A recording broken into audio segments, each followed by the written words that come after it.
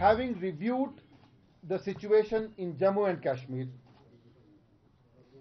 a decision has now been taken to restore mobile phone facilities in the remaining areas of Jammu and Kashmir. More specifically, all post-paid mobile phones, irrespective of the telecom service provider, will stand restored and be functional from 12 noon on Monday, the 14th of October 2019. This will cover all 10 districts of Kashmir province.